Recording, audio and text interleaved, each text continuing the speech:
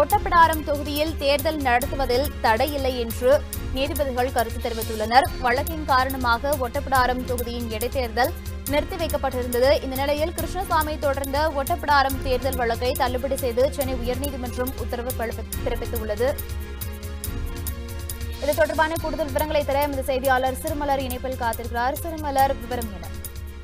வணக்கம் மௌனிகா. கடந்த ரெண்டாயிரத்தி பதினாறாம் ஆண்டு சட்டமன்ற தேர்தல் நடைபெற்றது. இந்த தேர்தலில் தூத்துக்குடி மாவட்டம் ஒட்டப்பிராவடம் தொகுதியில் போட்டியிட்ட புதிய தமிழகம் கட்சி தலைவர் டாக்டர் கிருஷ்ணசாமி நானூத்தி தொண்ணூத்தி மூணு வாக்குகள் வித்தியாசத்தில் தோல்வியடைந்தார். அதிமுக சார்பில் போட்டியிட்டு வெற்றி பெற்ற சுந்தரராஜன் வெற்றியை எதிர்த்து கிருஷ்ணசாமி சென்னை உயர்நீதிமன்றத்தில் தேர்தல் வழக்கு தொடர்ந்திருந்தார். அந்த தேர்தல் வழக்கில் அரசு மணல் குவாரி ஒப்பந்தம் பெற்றுள்ளதை மறைத்து வேட்புமனு தாக்கல் செய்து அதிகாரத்தை துஷ்பிரயோகம் செய்து- செய்துள்ளார் என்று சுந்தரராஜனுக்கு எதிராக குற்றம் சாட்டியிருந்தார். எனவே உண்மையை மறைத்து பொய்யான் தகவல்களை மறைத்ததாக அவர் வெற்றியை செல்லாது என அறிவிக்க வேண்டும் என்று சென்னை உயர்நீதிமன்றத்தில் கிருஷ்ணசாமி வழக்கு தொடர்ந்திருந்தார். இந்த வழக்கு நீதிபதி ரவிச்சந்திர பாபு முன் விசாரணை நிலுவையில் இருந்து வருகிறது. இதற்கிடையில் கட்சி காவல் நடவடிக்கையில் ஈடுபட்டதாக ஒட்டப்பிராடம் தொகுதி எம்எல்ஏ சுந்தரராஜை தகுதி நீக்கம் செய்யப்பட்டார். தகுதி நீக்கத்தை உ- உயர்நீதிமன்றமும் உச்சநீதிமன்றமும் உறுதி செய்தது. இதையடுத்து இந்த தொகுதி காலியாக உள்ளதாக அறிவிக்கப்பட்டது. ஆனால் கிருஷ்ணசாமி தொடர்ந்த தேர்தல் வழக்கை சுட்டிக்காட்டி ஒட்டப்பிராடம் தொகுதிக்கு இடைத்தேர்தல் அறிவிக்கப்படவில்லை. இந்த நிலையில் இந்த வழக்கை வாபஸ் பெறுவதாக டாக்டர் கிருஷ்ணசாமி சென்னை உயர்நீதிமன்றத்தில் மனு தாக்கல் செய்திருந்தார். அந்த மனுவில் தேர்தல் வழக்கை வாபஸ் பெற அனுமதிக்க வேண்டும் எனவும் தொகுதிக்கு தேர்தல் அறிவிக்க தேர்தல் ஆணையத்தில் உத்தரவிட வேண்டும் எனவும் கோரியிருந்தார்.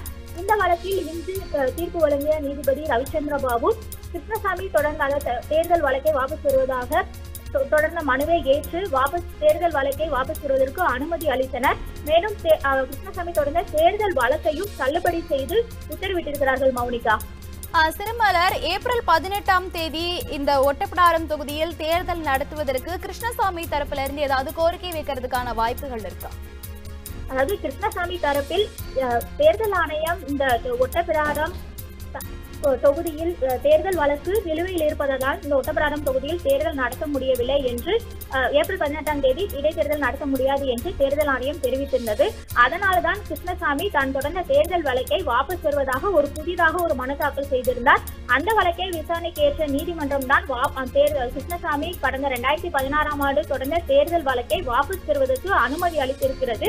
கிருஷ்ணசாமி தாக்கல் செய்த அந்த அதாவது புதிதாக தாக்கல் செய்த வழக்கினுடைய நோக்கமே இந்த தேர்தலை தேர்தல் வழக்கு நிலுவையில் இருப்பதால் தான் ஒட்டப்பிராடம் தொகுதிக்கு இடைத்தேர்தல் நடத்தப்படவில்லை என்று தேர்தல் ஆணையம் சுட்டிக்காட்டியிருக்கிறது.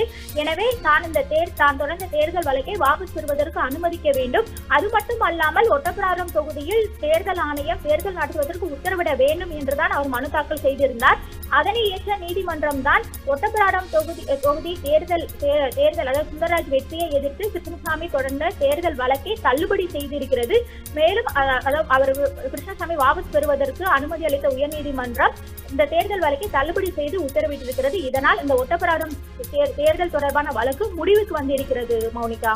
ஒட்டப்பிடாரம் தொகுதியில அதிமுக வேட்பாளர் சுந்தரராஜனின் வெற்றியை எதிர்த்து கிருஷ்ணசாமி தொடர்ந்த வழக்கானது தற்போது தள்ளுபடி செய்து சென்னை உயர்நீதிமன்றம் உத்தரவு பிறப்பித்துள்ளது.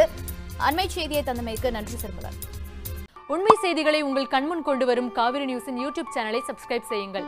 நொடிக்கு நொடி நாட்டு நடப்புகளை தெரிந்து கொள்ள Kaveri news dot TV Facebook Instagram Twitter போன்ற சமூக வலைதள பக்கங்களோடு எப்போதும் இணைந்திருங்கள்.